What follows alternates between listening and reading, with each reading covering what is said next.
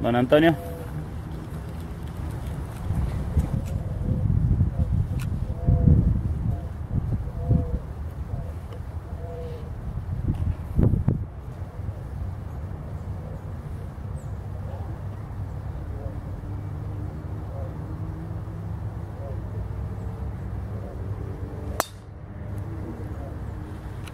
Bien, don Antonio, eh.